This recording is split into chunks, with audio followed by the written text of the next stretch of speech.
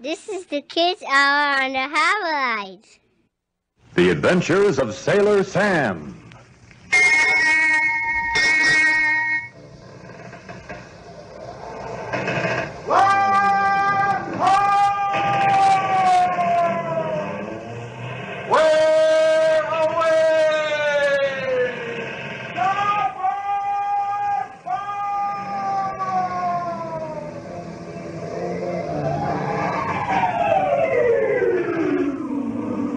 Hear the creak of the rigging? Listen to the wind whip the sails. Yes, boys and girls, Sailor Sam's big schooner, the Porpoise, plunges swiftly through the waves, eager to serve her master. Where's she going? Wish I could tell you, but we'll have to find out from Sailor Sam, an adventurous young man whose hunt for scientific truth takes him anywhere. Yes, anywhere. And with him go his two young cousins, Buddy and Nancy. Aye, aye, mate, it's full speed ahead now for seafaring thrills with Sailor Sam! Hello, boys and girls. This is Ole Olson. Say, Sam and his gang are headed toward new adventure. What kind? well, I don't really know. When is it going to happen? Sorry, but I can't answer that either. Do you say you join us, though? That is Sam, Hazel, Buddy, Nancy, and myself, as we speed toward Chicago aboard a fast train. Now, generally speaking, riding aboard a train is pretty quiet. Oh, you can look at the scenery, uh, or you can snooze. Uh, of course, whether or not it's possible to do this with Sam and the gang around is another question. Get ready to jump aboard in a hurry, because here comes the train right now.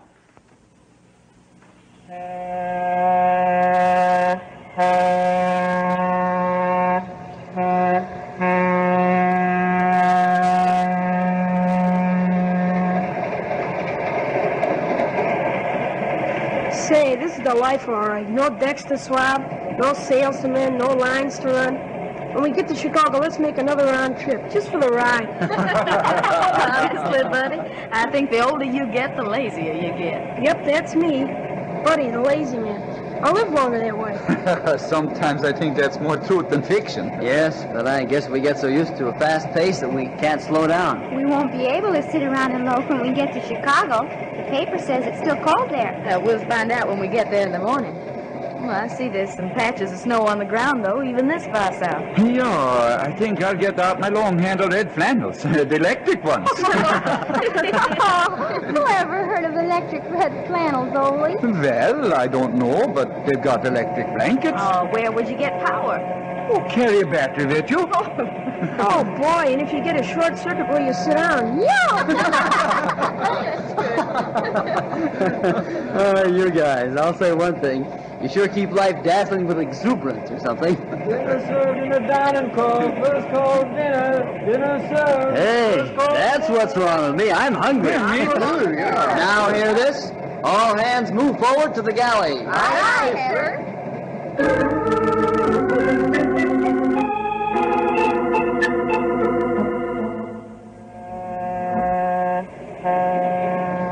catch a cup. I got it.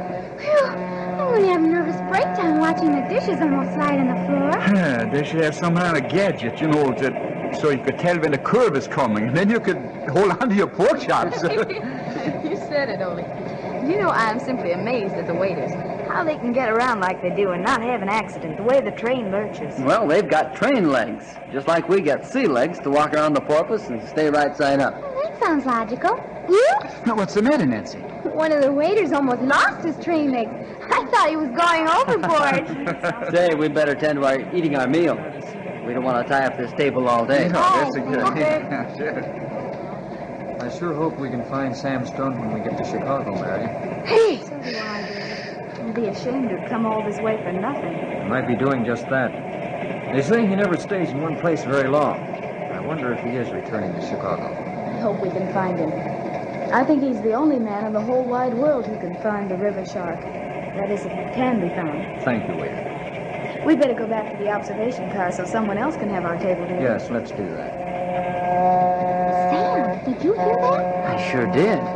What's a river shark? I don't have the slightest idea. My curiosity's straining at the leash, though. And sake, Sam, it sounds awful mysterious. I'll say it does. I've heard of sea sharks, sand sharks, and lots of other sharks, but never a river shark. That goes for me, too. They look like awfully nice people. What are you going to do? I'm going back to the observation car and identify myself. Maybe we can find out what a river shark is.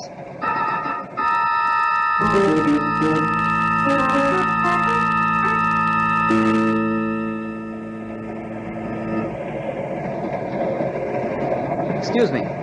May I speak with you? Why, of course, sir. My name is David Lindstrom. and This is my wife, Mary. How do you do? do? Uh, this is my first mate, Ole Olson. And my name is... Ole Olson. Then you can be only one person if Ole's your first mate. That's right. I'm Sam Stone. Mary, how about this? We're traveling to Chicago to see you, Mr. Stone. Here we find you on board the same train. How did you know we were looking for you? Well, we uh, overheard some of your conversation in the dining car. Dave, this is the most amazing thing that's ever happened to us. Little did we realize we were seated next to you and...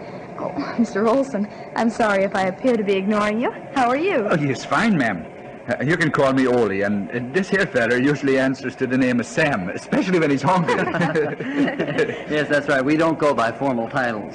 well, the same with us. Just call us Dave and Mary. Yes. I'd like you to meet the rest of our crew. Now, perhaps we could go back to our drawing room and talk there? Well, that's an excellent idea. Uh, what we have to discuss is secret and confidential. Uh, tell me something. yes, sir. What is a river shark? Only don't mention that name in public. I'll tell you what it is when we get to the drawing room. Now, what are we waiting for? Let's go back there and start talking.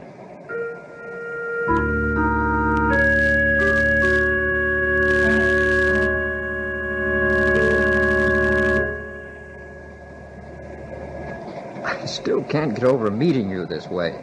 We expected to have difficulty finding you. We were even prepared to chase after you. I'm glad you didn't have to. But now for the point at hand. Why is it that you want to see me? Yeah, that's a good question. Uh, first, let me present my credentials. Here they are. Hmm. Special Agent for the United States Senate. The Committee for Historical Research of the United States. Well, these papers are certainly in order, Dave. Ole, you wish to see them? Ah, thank you, Skipper. Hmm. Here you are, Dave. Uh, what's this all about? Uh, this secret business. And uh, uh, what has that got to do with the river shark? Yeah, this What is is a it? river shark. Well, before I start at the beginning of my story, let me say that the river shark isn't a fish, but it's a riverboat. A riverboat? You mean the kind with a paddle wheel in the back? Yes, a stern wheeler, buddy. Ooh, does this ever sound exciting? Say it does. What's the story about the river shark? Is it a real old timer or a modern stern wheeler? Yeah, tell us about it. Yeah, you've even got my interest up to high pitch. Don't keep them in suspense any longer.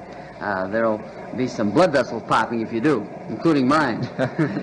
Well, I see your point. Well, the river shark is a small but fine stern wheeler that ran up and down the Mississippi and the Missouri back in the days when the river boats were in all their glory. The river shark was captained by Joshua Higgins, one of the finest river skippers of his day. Old Josh had a pilot named Abner. He could ease the stern wheeler over the highest sandbars without batting an eye. And he knew every obstacle in the two mighty rivers. Yes, sir. Old Josh was quite a boy. He sure could make the river shark go.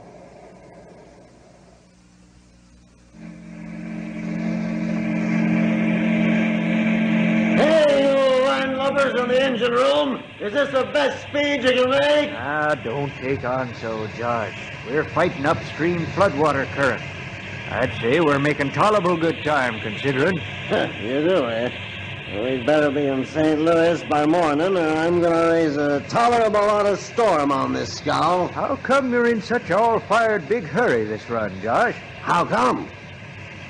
You know who we got on board? Nope. I don't stand gawking over the rail when the passengers come aboard. You don't, eh? Well, you're the only person in the United States who don't. There's a couple of governors on board and some federal men. Couriers carrying dispatches to Fort Leavenworth and beyond. We also got some mail for the West Coast. So, what's so unusual about that? The River Shark's the fastest boat on the river. We always carry important people and cargo. Sure we the fastest boat. Here, there's new boats being made in the East that can uh, outrun the river shark. Them's ocean-going and lake craft with screw propellers astern. Ah, but there ain't no boat made that can outrun this one. We'll know by morning, Abner. We'd better see St. Louis at the crack of dawn, or there's going to be some cracked heads in the boiler room. Hey, you swabs down there! Keep those boilers hot! Don't let me catch a safety valve popping. Can't afford to waste steam.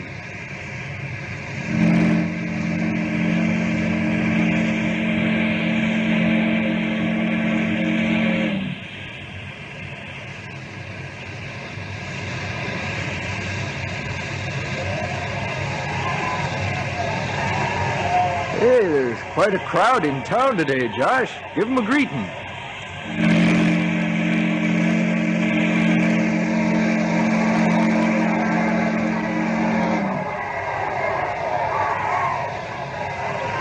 See there? All folks will tell you the river shark's right on time. As you...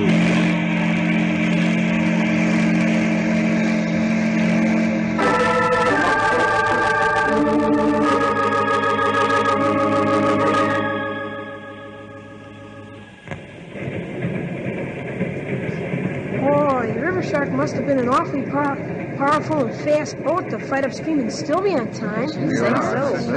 You're right, buddy. The River Shark was a great boat until it suddenly vanished from the face of the earth. Vanished? You say the river shark just disappeared from sight and was never heard of again? Well, that's right, Sam.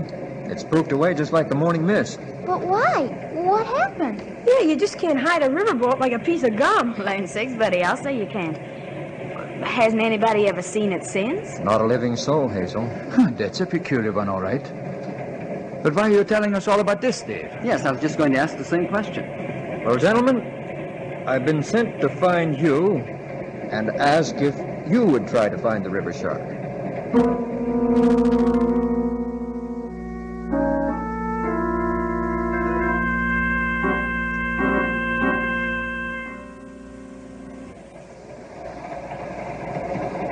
Well, Skipper, what do you say?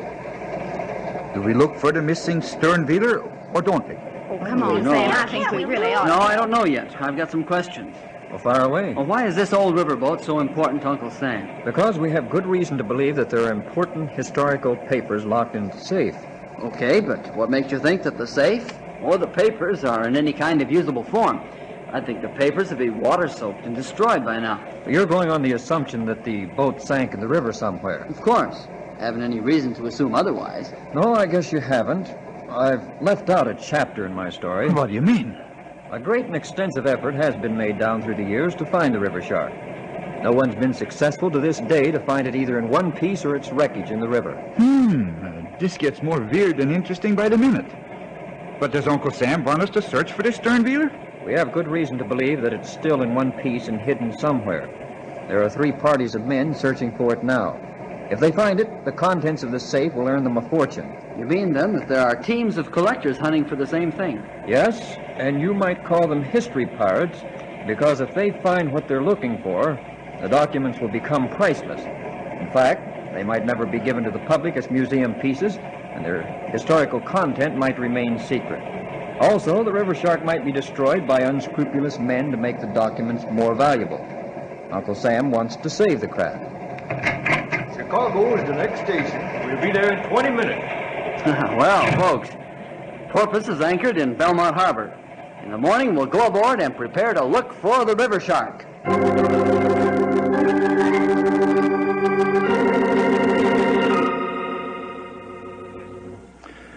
Boys and girls, don't miss this adventure with Sam and the gang as they search for this important old-time riverboat. There's going to be excitement and danger as our friends search the Mississippi Valley for this boat. See you on the quarterdeck next week for more seafaring thrills with your old friend Sailor Sam.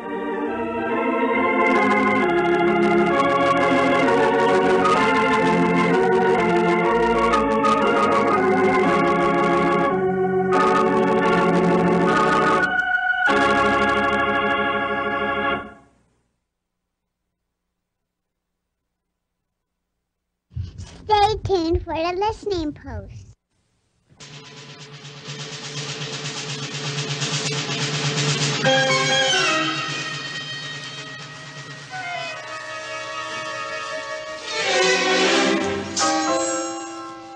Hey, what's this old post? What's that? Say, the thing talks. Sure, I'm the listening post. The listening post? Yep. For years and years I've stood in this spot. I've seen much. I've heard much. And in my old wooden heart are stories. That's right, boys and girls. Stories aplenty, crammed with fun and adventure. Crowd up close now and put your ears to the listening post. Hi, boys and girls. We're reading My Friend Flicka by Mo- Mary O'Hara. It's night at the McLaughlin Ranch, the night of the day that Ken had almost accidentally stampeded the mares over the rock slide. Banner, the golden stallion, is standing at night watching over the 20 odd mares and their foals. He twisted his massive neck and looked in another direction, down at the ranch where lived his god, Oats. The smell of the big, hard, muscular hand that held the bucket, the harsh voice that pierced his vitals. All this went with the greatest goodness that he had ever known. His world went no further. Together, he and Rob McLaughlin ran the ranch. In the fall, the two would separate the spring colts from their dams, and Banner would bite and kick and drive the mares away while McLaughlin penned the colts. In the worst of the winter blizzards, Banner would bring the mares home from five or ten miles away, knowing that McLaughlin would have been before him to open gates and doors and fill the manger of the feed shed with hay. Now and then Banner had to do or endure something he could not understand. This, too, he accepted. When Rob McLaughlin's blazing blue eyes commanded, Banner looked no further. Now smoke was coming from the chimney of the ranch house. Banner saw it and smelled it. It was a familiar, good smell. His ears quivered, taut and listening. Often voices, shouts, barking of dogs, the piano, the radio, reached him in a medley of sounds, all good. All Rob and shelter and food and companionship. But tonight, no sound but the chug of the windmill pump. Banner swung his head back again and stood straight, facing the moon. The golden fire that was in his eye when he was alert died down, and his lids half closed. Nell, too, was watching the moon rise. She was standing at the living room door, looking out across the terrace and the green. It was a Dutch door, cut horizont- horizontally in half, like a stable door, and Nell's elbows were propped on the top of the lower part. Leaning over a little, she rested her smooth, sunburned cheeks in her hands. She'd been riding that afternoon and was still in her black jodhpurs and white silk shirt. Dead tired, as she often was at night, she told herself that she had letters to write and she must set the sponge for tomorrow's baking, but she just stood there leaning and looking across the green. She was thinking about Ken and what he had done that day, and how furious Rob had been. Nothing had been said about it to Ken. Howard always took his cue from his father, so he too ignored Ken. They talked about the mares, the colts, and how long the grass was, and which mares had not yet foaled, and the old piece of lariat that was still tied around Rocket's neck, from the time, more than a year before, when Rob had tried to get Rocket in the chute, and Rocket had broken three lariats in succession. Nell had had to drive into town to buy new ropes, until in Cheyenne they were asking, What kind of an outlaw is the captain trying to break? The reason McLaughlin had given up trying and had let her go was because she had kicked to pieces the little wooden coop which led into the chute, and so had so injured her hocks and legs that he was afraid she'd be ruined. I've always worried about that noose around her neck. Might choke her some day. Get caught in a branch or wire. Never turn an animal out with a rope or even a halter on. Not if it's to run wild for a long time. What if it did choke her? You always say she's no use to you, asked Howard. There's a responsibility we have towards animals. We use them. We shut them up, keep their natural food and water away from them. That means we have to feed and water them. Take their freedom away, rope them, harness them. That means we have to supply a different sort of safety for them. Once I've put a rope on a horse, or taken away its ability to take care of itself, then I've got to take care of it. You see that? That noose around her neck is a danger to her, and I put it there. So I have to get it off. Ken had not talked at all, but ate his supper in silence. At bedtime, when he came to kiss his mother good night, she put her hand on his head, and he pressed his forehead against her for a moment, then kissed her quickly and went to kiss his father, then up to bed. Something simply got to be done, thought Nell. I wish Rob would give him a colt. Across the green, the hill was a black silhouette against a luminous fan of moonlight that was spreading behind it. The pines were motionless. It was a calm, brooding night.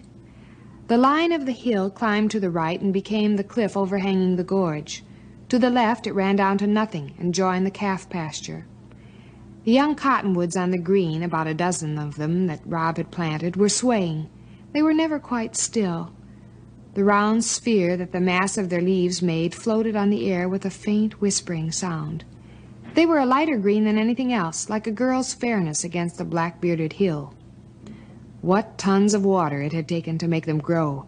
They had carried water in buckets, dozens, hundreds of buckets of water from the spring and poured on their roots. And even so, many of them had died and new ones had to be put in. Rob was always having to put in new little cottonwoods. They would never have been there if it hadn't been for his determination. In the fall, their leaves turned pale gold and drifted off the trees and whirled about on the green in little cyclones and curling eddies. I'm glad I've got the green, she thought. Like the village greens home in New England. This is really like the East. No, not the East. The East is cozy. There's never the distance, the far, empty distances, the wide loneliness. Miles and miles before you come to another house. Just animals, grass and animals and sky. You can smell the loneliness. No, it's the emptiness you can smell. Of course you can smell that. It is empty. Other places, the land is full of houses and factories and towns and people and people's doings. But this is almost a desert.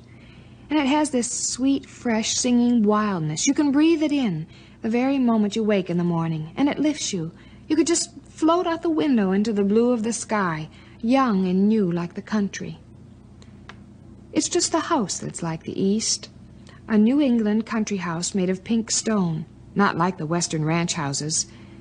They're like ugly workshops, untidy, old wrecks of machines dumped anywheres, tumble-down buildings leaning together. No time, I suppose, not an ounce of energy or a minute of time left over from the awful, hopeless struggle to make a living. Sun in the wrong place where it scorches and burns and exhausts you. Black shade where you want sun and warmth. No comfort. The buildings lie in a heap as if they'd been thrown there, and there they stay. She raised her head and sniffed. The flower border below the terrace wall was crammed with iris and forget-me-nots and larkspur and lilac and petunias. It was the lilac scent that drenched the evening air. Fancy lilac as late as this. In New England, it would have been over long ago. She felt two tiny paws against the leg of her jodhpurs. Polly gave a little pleading meow. When, Mel, when Nell paid no attention, she proceeded to climb up her leg, hooking her claws into the cloth. At about the belt line, Nell, in self-defense, caught hold of her and lifted her to sit on her left arm. This was the cat's favorite seat. She looped her right arm around Nell's neck, holding on with a velvet paw which never permitted the tip of a claw to emerge. Nell straightened up with a sigh, leaned her cheek against Polly, and smoothed the soft fur. Then she got her sewing basket and Ken's torn saddle blanket and went to sit close beside Rob's desk in his study where he was working at his accounts. The big gasoline lamp on the top of Rob's desk laid a circle of brightness on the gloom of the room and enclosed them both. Nell sat with one foot under her. Her fine, narrow head was bent over her work, and her hair shone like fawn-colored satin in the lamplight. She'd been careful of her hands with her long pointed fingers and almond shaped nails, and they were as smooth as the brown eggs that came from the Rhode Island red hens. When she talked, she gestured with them, and they had that artless look, the lack of any clutch or grasp, the question in the bent back, reaching fingertips, which always suggests a poetic nature. Rob often watched them, thinking that they moved like something that was helpless, seawood floating. Ken had the same hands. They didn't take hold. But now, weaving the blue wool in and out the torn saddle blanket, Nell's hands were quick and quick and deft. Between stitches, she glanced at her husband. His round head, with the tight cap of black hair, had the hardness of a profile on a coin. Presently, she said, Rob, give Kenny a colt. Rob made no answer. He might not have heard. Sitting at his desk, before him a pile of bills and a scratch pad on which he was jotting figures, he was silent and, and absorbed. Bills, thought Nell. I wonder which one, particularly. He's worried these days, always figuring, always accounts. He hates it, too, hates figures as much as Ken hates them, never used to do it. This thought escaped into speech. You never used to keep so many accounts, Rob. This got an answer as his pencil jotted down a total and scored a heavy line. He leaned back with a short laugh. Huh. Well, never knew I'd have to. He stretched wearily. Are we broke? We're just two jumps ahead of... His voice trailed into silence, and Nell's eyes flitted wildly for a moment, as if she would find them pursuing menace, lurking in some dark corner of the house. But haven't we always been? Is it any worse? For a long time, I, I didn't know it. Know what? That each year I was worth less money instead of more. Is it really like that, Rob? It is. A rancher or a farmer can't know whether he's operating at a profit or a loss unless he makes a very careful yearly inventory. I read that in a government bulletin once. That's what jacked me up. You can see why it's true. Equipment deteriorates, buildings run down, there are stock losses, indebtedness increases. But it's also gradual, almost imperceptible. A man doesn't notice it. He drifts along thinking that things are about as they always were. You see it all around here.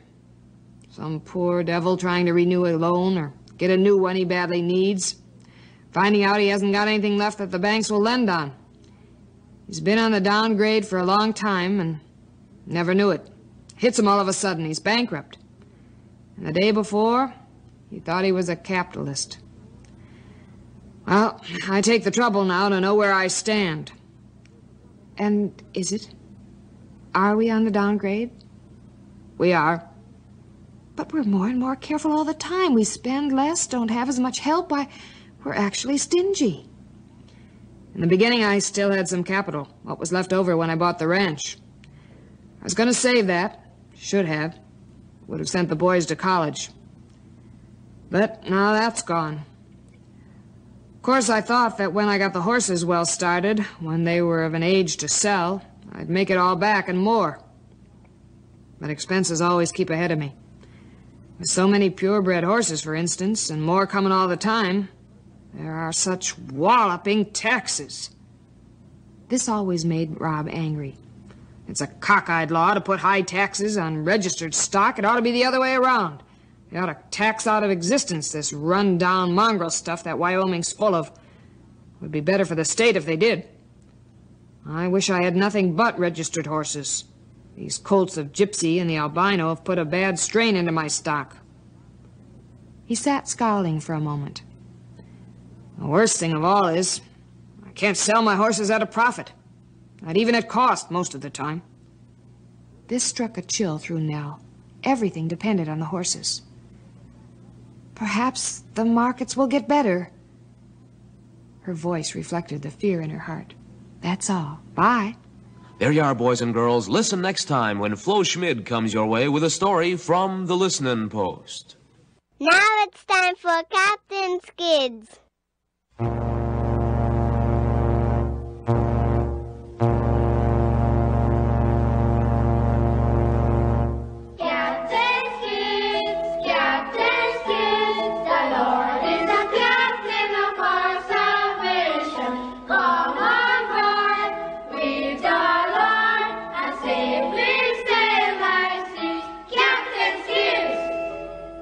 Welcome aboard the good ship Salvation, boys and girls.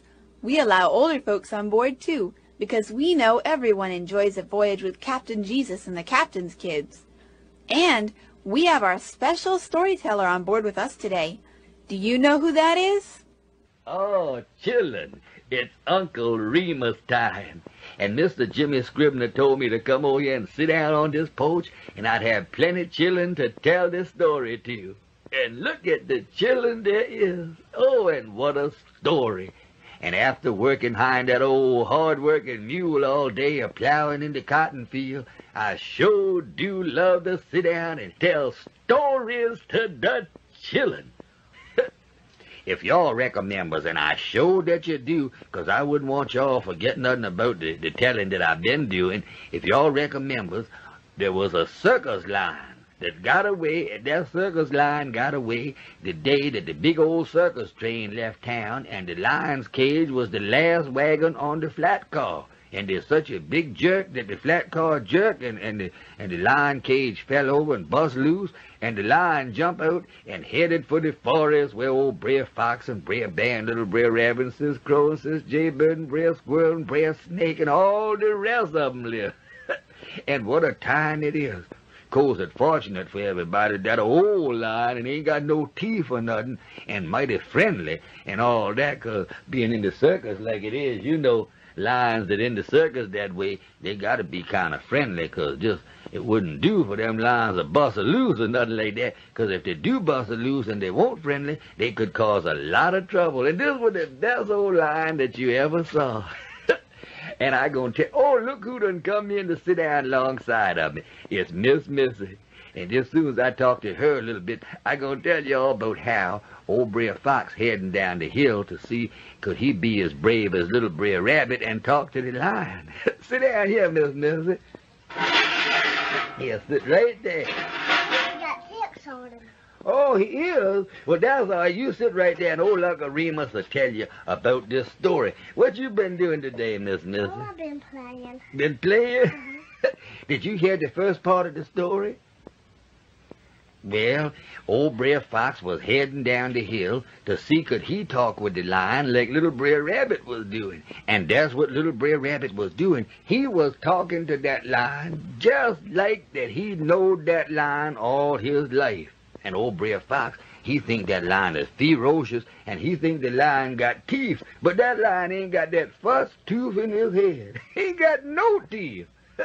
Almost like old Uncle Remus, we ain't got no teeth hardly. And that old lion didn't do a thing in the world but sit right down by little Brer Rabbit, and little Brer Rabbit sit down by the lion, and Brer Rabbit say, You there, what is you? And the lion say, Well, I'm uh, back at, uh, a lion. I'm with that, uh, the circus, and, and the thing, the thing that I lived in the cage, it, it fell off the railroad car, and when it fell off, it hit the ground and busted all to pieces, and I jumped out, and then the thing, the railroad car went on, and I didn't have anywhere to go, so I came over to the forest. I hope you'll excuse me, and I hope you won't mind. No, I don't mind. I'm glad that you did it. Uh-oh. Uh-oh. Here come old Brer Fox and Brer Bear. They don't know that you're friendly. And, and they the kind that if they find out that you're friendly, that they'll take the most advantage of you. So you gonna have to play like you're mighty powerful tough. Well, uh, I don't know much about playing that, but I'll, try. if you think that I can, of course, not having any teeth, it's awfully hard to try to pretend that you're tough. I couldn't even eat a tough piece of beefsteak, much less be tough myself. I know, but they done, they done, done stopped. Hi, Brer Fox. Oh, hello, Brer Rabbit. uh, uh, I see that you're talking to that lion there. Uh, whoa, whoa, whoa, I ain't never seen no rabbit talk to no lion before. Call, call, call, call, call. Cowards, that what you is. Cowards, cowards, cowards. oh, go on, you old busybody. Ain't nobody scared of nothing. You're scared of that lion. You scared of that lion. You laughing like you ain't afraid of him, but I know you're afraid of him. You're scared to death of that lion. Is you scared of the lion? Sure enough, Brer Fox. If you is, why don't you admit it? But now, wait a minute, Brer Rabbit. I don't ever want you to get the idea in your head that there's anything that, that I'm scared of that you ain't scared of. Oh, then if you ain't scared of the lion, why don't you walk up to him? Well, uh, uh, Why don't you do it? well, well uh, uh, uh, is he really mean and ferocious? Sure, he mean and ferocious. Go on, get close to him. He got teeth that big as telephone poles. Go on, Brer Fox, get a little closer. Uh, Brer Bear, you in the lead there. Go ahead down there and get close to him. Let's see what you're gonna do. Now, what you mean? I ain't gonna do nothing. I as close as I gonna get right now, boy. I don't know what you mean by being in the lead and close to him. Uh, them is words that I don't even uh, understand or appreciate. And I appreciate it much more if you just uh, uh, don't say no more about the thing yourself and uh, let's get on about our business. The line ain't bothering us. Uh, what is the use of us bothering the line? Uh, what I'm getting at is, I mean, uh, by that. Uh, yeah, yeah, you're right. Uh, well, well, we just want to say hello anyway, little Brer Rabbit. We won't go with the line or nothing. he is a tough-looking, mean-looking thing there. Goodness gracious. Uh, come on, Brer Bear, let's go. Uh, so long, Brer Rabbit. Oh, oh, you cowards! That what you is, cowards! Oh, be quiet, Sis Crow. Ain't nobody said nothing to you, you old busybody. Cowards, cowards, cowards! Call, call, call! Well, that's the way the meeting happened, too. That's for sure, children Miss Missy. And you know, old Brer Fox didn't do a thing in the world but tuck his tail twixt between his legs and went home to his den. And so did old Brer Bear. And that night, Brer Squirrel and old Brer Snake called on old Brer Fox. Mm-hmm. Brer Squirrel knock on the door, and after he knock on the door, Brer Fox come over and open the door, and Brer Fox say, Who is it? Doggone, don't go! don't you recognize me? I'm Brer Squirrel. I don't allow no squirrels around my... Squirrels? That's right, they good to eat. Come on in, Brer Squirrel. Doggone, not go on your tin tight. So long. And with that, Brer Squirrel lickety split and hit and landed in a tree, and Brer Fox couldn't even get close to him. Then Brer Snake, he speak up, and Brer Snake say, My, my, my. Oh, so you with him, huh? There's two of you. Yes. I'm not good to eat, though, because I'm a snake. You can ask me to come in, and I shall come if you ask me. In fact, being a snake, I'll go in anyway, whether you ask me or not. But chillin', old Brer Snake was a laughing and wiggled in through the door and went over to where old Brer Fox was got a fire in the fireplace. And when Brer Fox come back in and sit down after the door done closed, Brer Snake say, Everybody in the entire city is talking about you. In the city? Yes, even the folkses that lives down in the city and the village. And of course, all of the animals in the great outdoors and the forest. You is the topic of conversation everywhere, and they all has one word for you. What is that one word? Coward. Stop that laughing. I don't allow no laughing in here.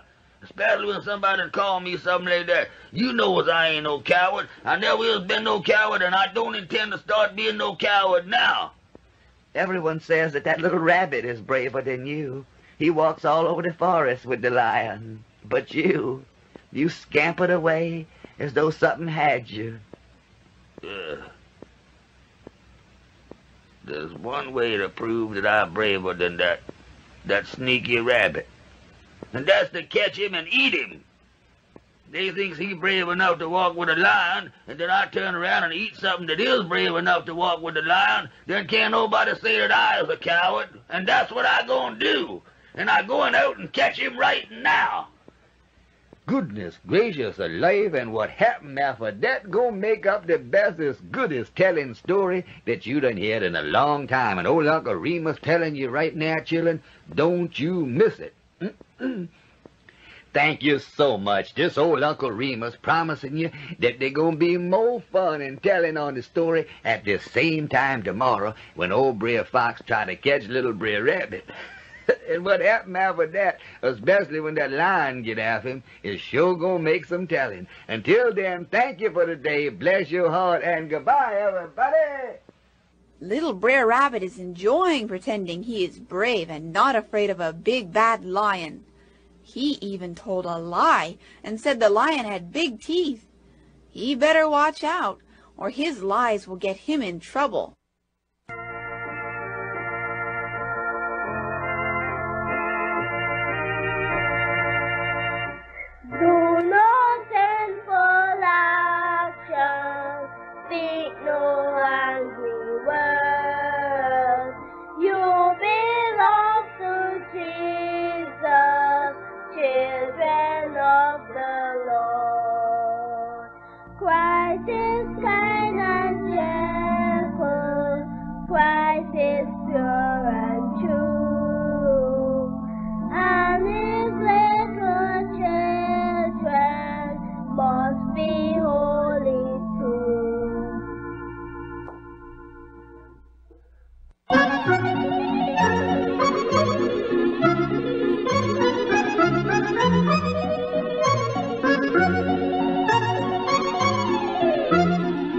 Let's be sunbeams for Jesus. Leviticus 19:15 to 18. He shall do no unrighteousness in judgment.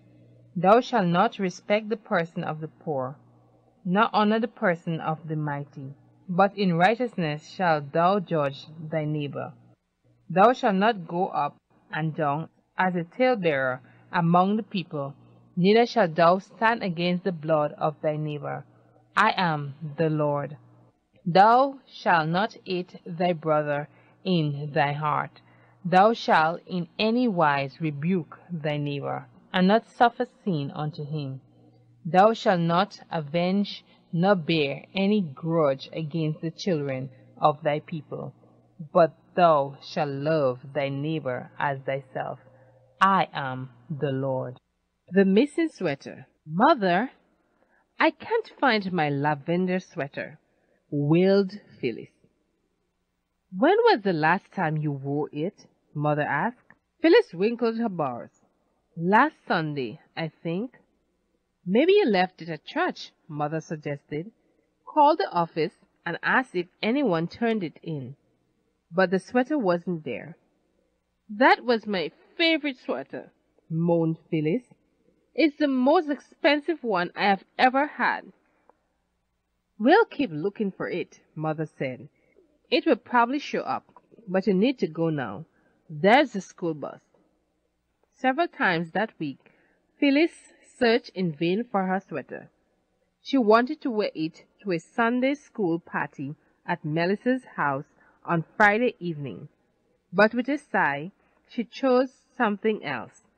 Arriving at the party, Phyllis stared in amazement at Marcy, one of the girls in her class. Drawing Melissa closer, she whispered, Marcy's wearing my sweater. She must have picked it up at Sunday school. Are you sure? Melissa whispered back. Of course, Phyllis hissed. She can't afford a sweater like that. As the girls were talking with Marcy later, Melissa said, That's a pretty sweater, Marcy. Where did you get it? Marcy blushed and lowered her head. My mother bought it at a garbage sale, she told them. I'll bet, muttered Phyllis. She was angry and told several girls that Marcy had stolen her sweater. Somehow, the party wasn't much fun for her after that. When Phyllis reached home, her grandmother met her at the door. Phyllis gave her a big hug as mother said, You will be glad to see what grandma bought you, mother added. Phyllis, mother handed Phyllis her lavender sweater. But, but, but, where did you find this? Phyllis stammered. You left it at my house last Sunday, Grandma told her. Tears welled up in Phyllis' eyes. I've made a terrible mistake, she sighed. I've told you about it after I make some phone calls. How about you? Have you ever falsely accused someone? Did you apologize? Next time you are tempted to accuse someone, wait. God says, Christians should be slow to speak. You know that hasty conclusions are often wrong. Hurting others with false accusation is a poor testimony. If you have done that, be sure to apologize. James 1:19 Let every man be swift to hear, slow to speak, slow to wrath.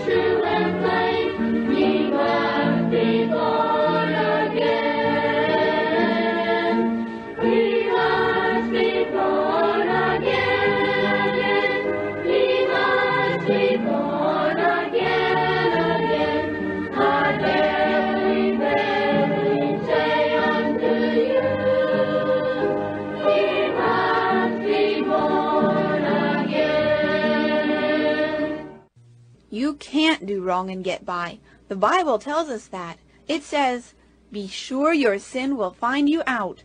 We cannot hide from God. He sees everything we do.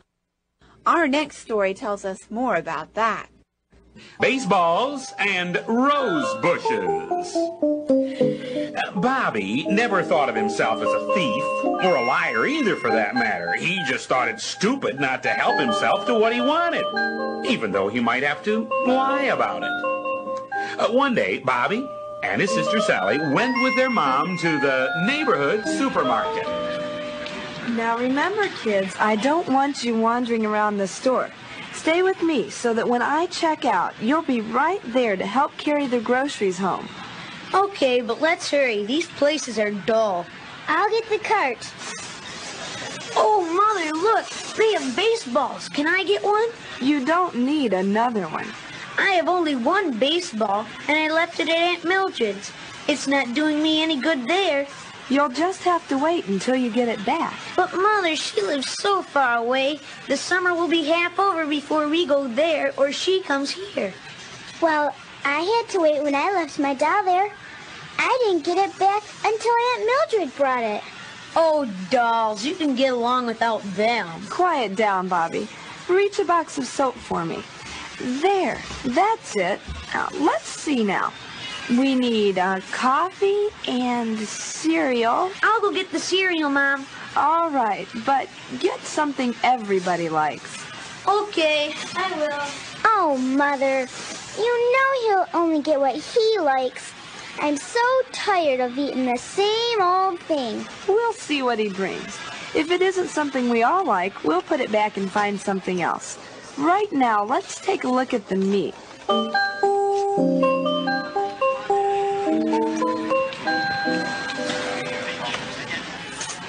Here's your change, ma'am. Thank you. Now, do you need help carrying these? No thanks. I brought my help. Here you are, son. Can you carry this one? And Sally, I think you can manage this, can't you? I guess so. You kids run along home. I have to stop at the dry cleaners to pick up your dad's suit. Okay, Mom. Bye.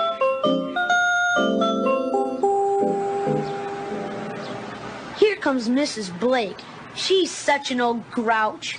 Bobby, if you don't stop saying things like that about people, you're going to get yourself into trouble. Besides, half of the time you're the one who makes them grouchy. No wonder they get mad when you act the way you do. I suppose Mrs. Blake is always nice to you. Well, I get along with her okay. I try to treat people the way I want to be treated. That's the difference between you and me.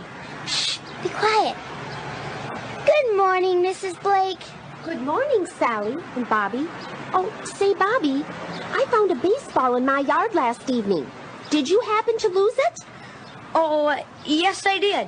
But Bobby, I'll just bring it over this evening. I'm glad I found the owner. Goodbye. Bobby, how could you lie like that? You know that isn't your ball. So what? She doesn't know whose it is. It's a sure thing she can't use it, so I might as well have it. You're gonna get caught for telling lies. Just wait and see. Tell me how. Whoever threw that ball into Mrs. Blake's yard isn't gonna go and ask her for it. If they were, they'd have done it by now. So who's gonna know or care? But you're always lying. I'm not either. Anyhow, if I do decide to tell a little white lie now and then, what does it matter as long as it doesn't hurt anybody? You worry too much.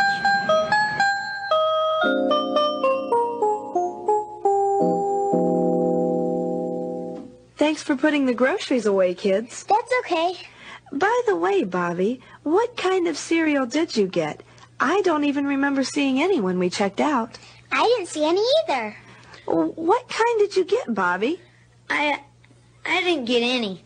I was still looking them over when Sally came after me. Then I guess you'll have to run back to the store and get some. I'll go, Mom. That's fine. Here, Bobby, you take your father's suit and hang it in his closet. Okay. Mother, I hate to tell you this, but Bobby's been lying again. When we were coming home, Mrs. Blake met us. She asked Bobby if he lost a baseball, and he said he did. She found one in her yard, and she's bringing it over tonight. Well, he certainly can't keep it. I'll have to talk to him about lying again. You run along, Sally. All right, Mother. I'll be back soon. Mother, is it all right if I go to the park now? In a little while, Bobby, but first sit down for a minute. I want to talk to you. I understand that you've been lying again. Sally's a tattletale. She's worried about you, son, and I am too. Lying is a very serious thing. The ball Mrs. Blake found in her yard is not yours. You know that because you left yours at Aunt Mildred's. I don't know what you're so upset about. Mrs. Blake found a ball, and she doesn't know whose it is. What's wrong with me having it? But you said it was yours, and it isn't. Taking what isn't yours is stealing. Bobby, you've asked Jesus to come into your life, haven't you? Sure. Well, you know what God says. Thou shalt not lie. As a Christian, aren't you ashamed to lie the way you do? Well, I just don't see where I'm hurting anybody. I figure I might as well have the balls to let Mrs. Blake keep it. Bobby, one thing's for sure. You can't go on this way. Either you change your ways, or something will have to be done to change them for you. And you will not be keeping that ball.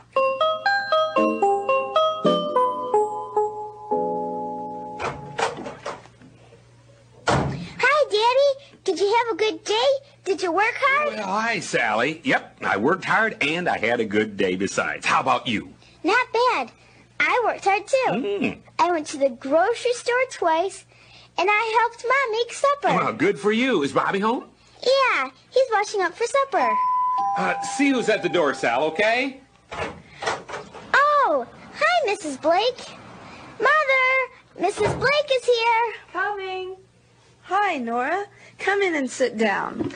Good evening. I've come to see Bobby. How are you, Nora? Quite well. Ah, here's the boy I want to see. Hi, did you bring my ball? Yes, I did.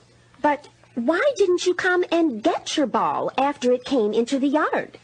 Well, you see, I, uh, I didn't know it went into your yard. I just threw it, and I wasn't sure where it went. I'm afraid that I can't believe that. Bobby, when your ball landed in my yard, it broke one of my best rose bushes. When you saw your ball come into my yard, it was your duty to come and see if any damage had been done. You may have your ball back when... Bobby, you must explain to Mrs. Blake. You know that's not your I ball. beg your pardon? Why, I asked him just this morning if it were his, and he admitted it. But I know that it isn't his, Nora. He left his ball at his aunt's house last week. Say, that's right. Uh, what made you think this could be your ball, Bobby? Uh, did you forget about leaving it at Aunt Mildred's? I, uh... Well, I see how things are here. The ball belongs to the boy until you find out it has damaged something. Then it isn't Uh, his. wait a minute, that isn't so, Nora. I- I'm sorry Bobby said the ball was his, but it, it just isn't true. Well, I am simply amazed. You claim to be Christians. You even teach Sunday school. I suppose you teach other people's children not to lie. Why, you're just hypocrites. I, I'm sorry you feel that way, Nora. Let me try I'll to. keep the ball. It might be cheaper for you to buy your boy another ball than to replace my rosebush. But believe me, I'll let people know just how deceitful and dishonest you are. Nora, if you'll just... Well, Bobby? I... I don't know what to say. Son, this lying must stop. And it must stop right now. Can you still say it doesn't hurt anybody? No. I, I feel so bad about it all. I never thought it would hurt you, but she accused you of lying. I feel awful. I think we all do. Because, yes, you did hurt us. We're being blamed for your sin. But even worse, son, you hurt the name of the Lord. How sad he must feel. I'm so sorry about it all. How can I ever make it right again? What can I do? Well, son, if if you'll confess your sin to God, he will forgive you. And then with his help you can overcome this bad habit of lying. I think you need to see what you can do to settle things with Mrs. Blake, too. Don't you? You mean like like go tell Mrs. Blake the truth? That's what I mean. She may not believe you, but perhaps if you pay for her rosebush and let her keep the ball, it would help. What do you think? Oh, okay. Uh, that'll be hard, though. Yes, it will. But you can do some extra chores to earn money for the rosebush. All right. I just hate to even face her, but I'll do it. Oh, I hope I never tell a lie ever again, and I'm gonna ask God to help me. Oh, be careful, little eyes, what you see. Oh, be careful, little eyes, what you see. There's a Savior up above, and He's looking down in love. Oh, be careful, little eyes, what you see. Oh, be careful, little ears, what you hear. Oh, be careful, little ears, what you hear. Jesus sat upon the tree, and he said, Come unto me. Oh, be careful, little ears, what you hear. Oh, be careful, little hands, what you do. Oh, be careful, little hands, what you do. Jesus did the work for all you need, but he is called. Oh, be careful, little hands, what you do. Oh, be careful, little heart, whom you trust. Oh, be careful, little heart, whom you trust. Jesus lives in heaven he alone can take you there. Oh, be careful, little heart, whom you trust. Oh, be careful, little mind, what you think. Oh, be careful, little mind, what you think. Let us think for me he died, for my sin was crucified. Oh, be careful, little mind, what you think. Be careful, little tongue. It is so easy to slip up and say something we shouldn't. We need Jesus to help us to always tell the truth. Do you have a problem with lying? Do lies slip out of your mouth before you know it? Ask Jesus to help you stop and remember to tell the truth. Jesus is the way, the truth, and the life. He can help us to tell the truth. Well, boys and girls, our voyage has come to an end for today, and we must sail home. This is your cousin Christina saying goodbye, and see you again next time with all the captain's kids. Captain's kids, captain's kids, the Lord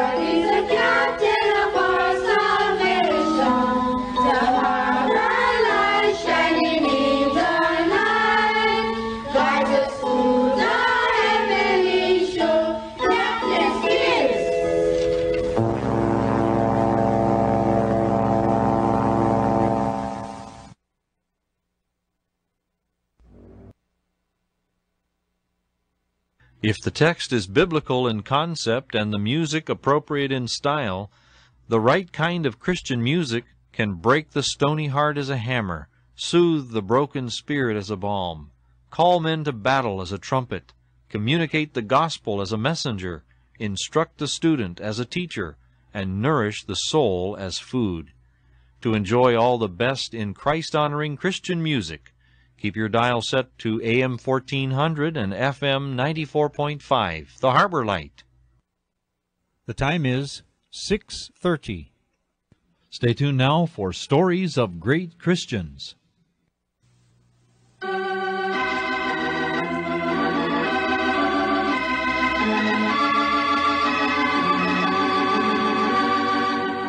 We greet our friends everywhere with Chapter 2 of New England Firebrand, the story of Roger Williams. This is another in the series, Stories of Great Christians.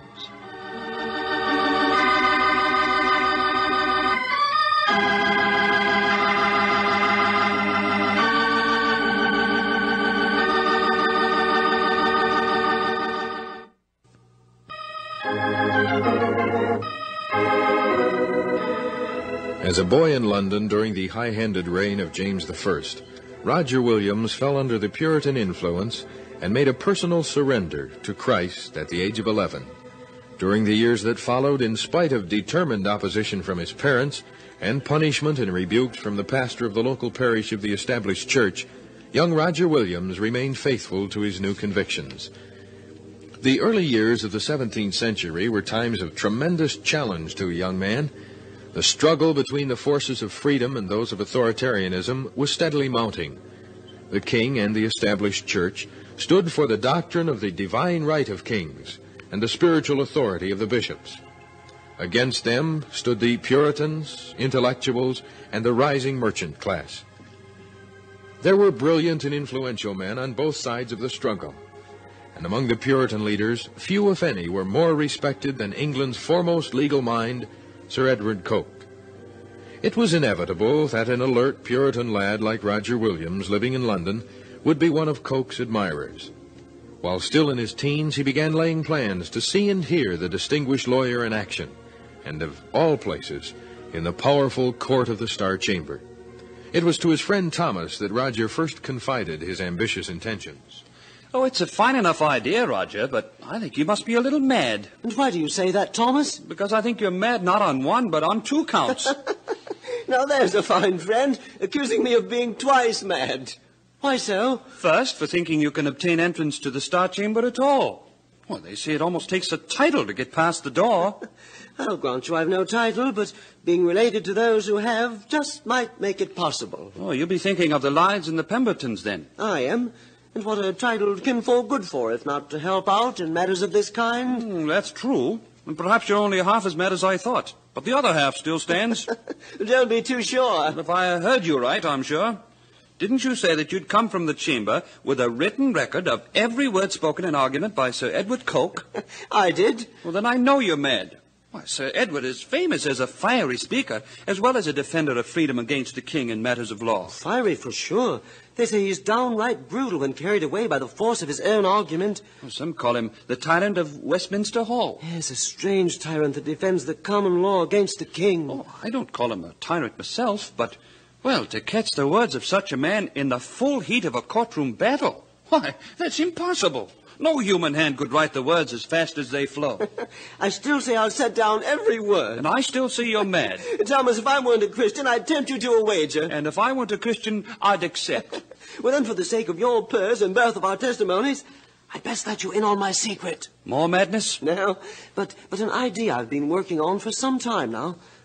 I'll show you. Here, uh, first, I take writing materials. So, so, and then I'll ask you to speak a bit on whatever enters your mind while I take it down. Word for word? Word for word. Then I'd best speak slowly. Oh, not at all. Speak as fast as you like. No, I see it's madness. Very well, then. We'll begin. Let me see. all right. I have a young friend, Roger Williams by name, whose desire to see the great lawyer, Sir Edward Coke, defending freedom in the Star Chamber, has addled his tender wits. Though he were as rich as Sir Edward himself, and as powerful, and as brilliant, he cannot so much as set down these few words as they fall from my lips. There. What did I say, boaster? I have a young friend, Roger Williams by name, whose desire to see the great lawyer, Sir Edward Coke, defending freedom in the Star Chamber, has addled his tender wits. Though he was as rich as Sir Edward himself, and as powerful, and Enough, as Roger, brilliant. enough. Those are my very words. Isn't that what I promised? Well, it is, and I was wrong. But, Roger, is this a good thing? I think it's so. Why not? Well, it smacks of witchcraft to my thinking. Let me see that paper. no witchcraft, Thomas. J- just this. Well, These strange marks and scratches and curlicues, they tell you what I said? They do. Yeah, they still had the look of witchcraft. Well, put your mind at ease, Thomas.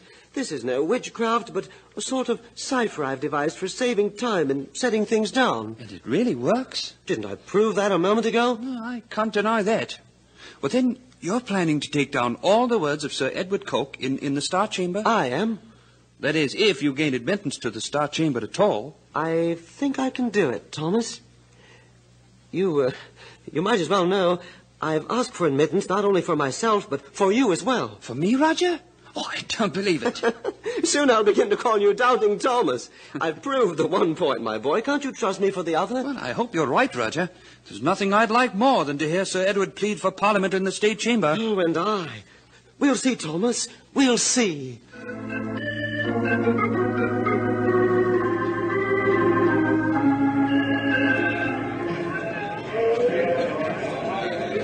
I couldn't really believe it was true, Roger, until the guard at the door took our papers and waved us inside. I'll confess I had my doubts, too. Why, I've never seen so many title folks in one place before. Why, we must be the only commoners in the chamber. Do you see Sir Edward Coke? No, which is he? Yonder at the table, sitting next to the bald-looking fellow in the blue cloak. You mean? Oh, I see him now, Roger. Why, I've never seen a more distinguished-looking man in my life. Distinguished indeed. He even entertained the Queen herself some 20 years ago at Castle Acres. Yes, I've heard the tale. He gave her jewels and gifts to the value of more than 1,200 pounds sterling. And now the man stands openly for the Puritan cause. Yes, he risks all to do that. It takes courage. Yes, it does.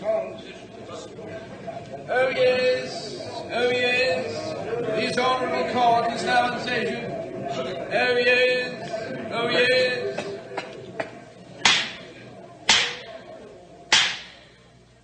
The court will now hear an argument that honourable and worthy gentleman, Sir Edward Coke. This is it, Roger. This is what we came to hear. Oh, he looks like a lion, doesn't he, Thomas? Are you going to take it all down in that scratch and cipher of yours? I am, and may God guide my hand. He's beginning to speak. Uh-huh. The cause under consideration may be established on principles of law, long recognized by the classic authorities.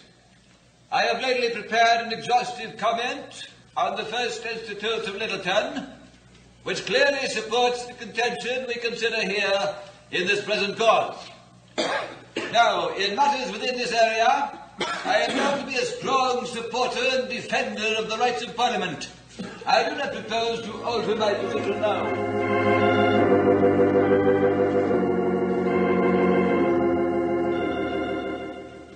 May it please the court, I now rest my cause.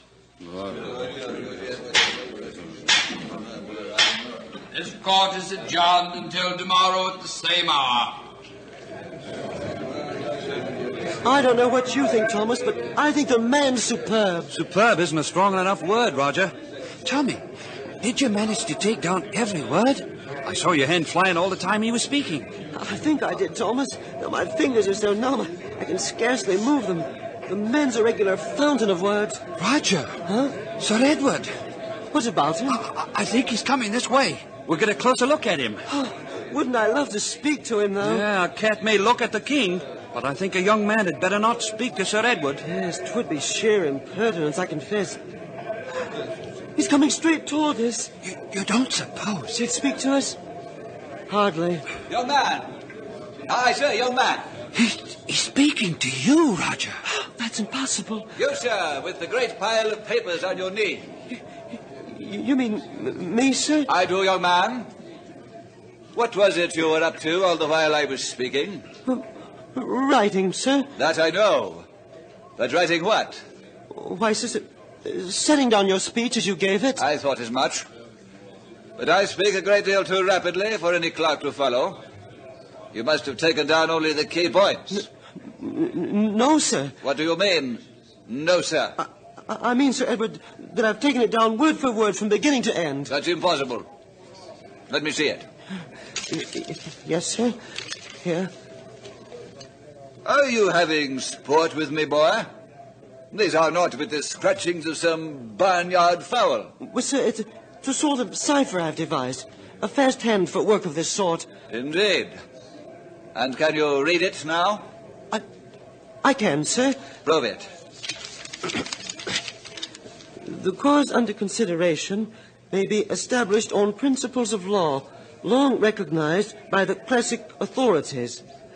I have lately prepared an exhaustive comment on the first institutes of Littleton, which clearly supports the contention we consider here in this present cause. Now, in That's enough, that- lad. If you have done as well throughout, it's flawless. You say you've devised this thing yourself. Does anyone else know of it? Only my friend Thomas here, sir, and he hasn't learned the trick of it as yet. And what's your name? Roger Williams, sir. My father's James Williams, a merchant tailor. Oh, yes, I've heard of him. Then you and I are on opposite sides in matters of religion. Oh, no, sir. I'm a Puritan, sir, as you are. I understood your father was staunch Church of England. That he is. But I've been a Puritan since I was 11 years old. In defiance of your father? Yes, sir. Hasn't that caused you trouble? It has that, Sir Edward. But the Bible says that a man's enemies are the men of his own house.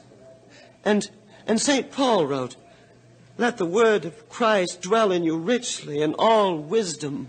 I say, you're a serious Bible scholar at that. Though I notice you quote from this new translation authorized by King James. I- Is that wrong, sir? I think not. In time, it may well be accepted by English speaking people everywhere. Though I grant it sounds strange to my ears. Those who did the work are known to be as men of much prayer, and I believe they were guided by God's Holy Spirit. Oh, yes, I'm, I'm glad to hear you say it, sir. Now then, I find you a likable lad, Roger Williams. And a talent like yours for taking down the words spoken could be of great use to a man of the law like myself. Do you suppose now you could learn to get along with a crusty old man like me? Oh, I don't understand. How do you mean, sir? And I don't find you crusty at all. You will, Roger, if you enter my employ. If what? The thing I'm suggesting is that you enter my house and service as a sort of uh, confidential clerk. I believe you could go far with the proper training and friends, and I propose to provide them. How would you feel about me as your patron? Oh, I'd be honored, Sir Edward. Well then, is it yes or no? I'm a busy man, you know. Oh, it, it, it's yes, Sir Edward. But, but- but what else? Yes, of course.